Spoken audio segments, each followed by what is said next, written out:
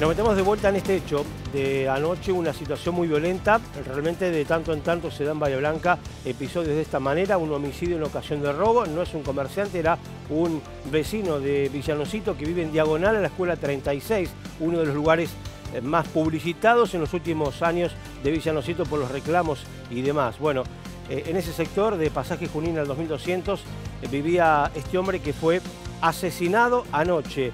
Estamos esperando datos de la investigación, al menos para saber si están cerca o no del asesino. Por ahora, lo que podemos compartir son los datos de la autopsia, que finalizó hace algunos minutos nada más.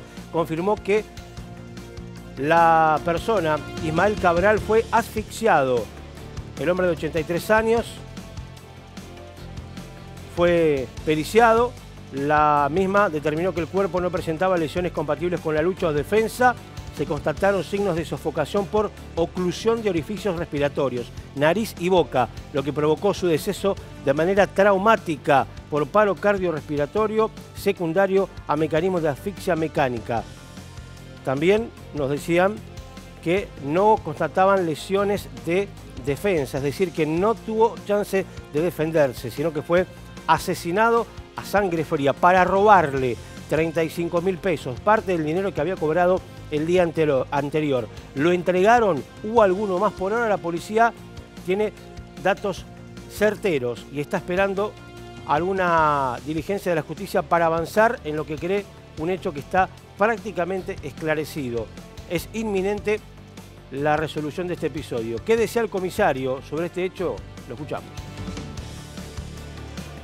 La persona sí presentaba signos de, violencia sobre su cuerpo, estaba mañatado de, manos y de posición cúbito-ventral.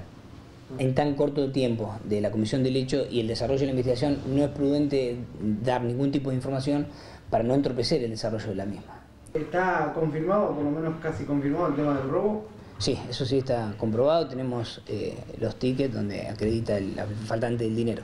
Se hicieron un buen labor de campo en el lugar, una buena eh, relevamiento entre vecinos que permitió tomar buenas declaraciones testimoniales. Esas declaraciones tienen un fuerte peso, eh, así que vamos a, focalizarnos en eso.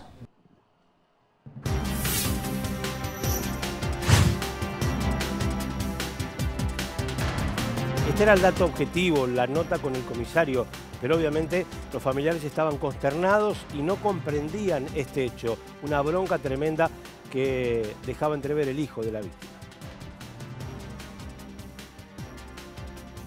Nos encontramos atado de pies y manos en la cocina, eh, ya sin vida.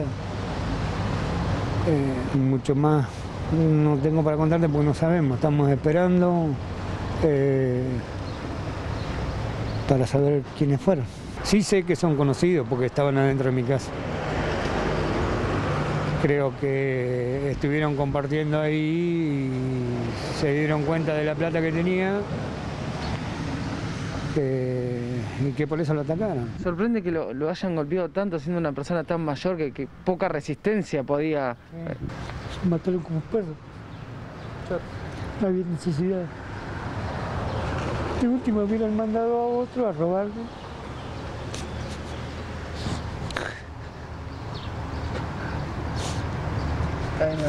Gracias. Gracias.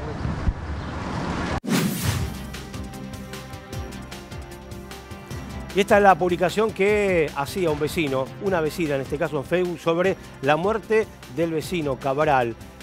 Claramente una persona que tenía ascendencia sobre los vecinos, que colaboraba con algunas personas, que era eh, alguien querido por parte de la sociedad o al menos por muchos de los vecinos de ese barrio. Y esta es la imagen que ha quedado y que muchos vecinos quisieron eh, poner eh, como posteo para homenajear a este hombre de 83 años que fue brutalmente asesinado para robarle parte del dinero que tenía desde el día anterior.